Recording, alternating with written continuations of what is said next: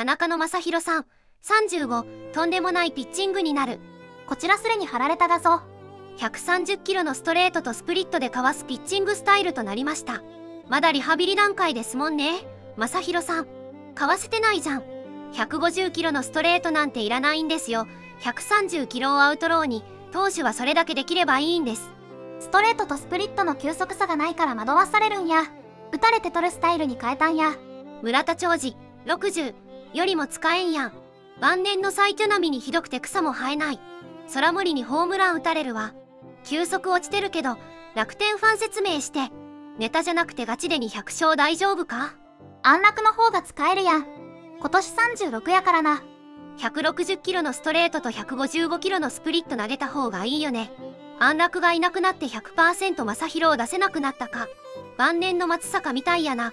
ダルビッシュが若々しいだけでまあもういいねんかさっさとに100勝させて引退させよう。野手が打ちまくって勝たせない限り外せない呪いの装備やご視聴ありがとうございました。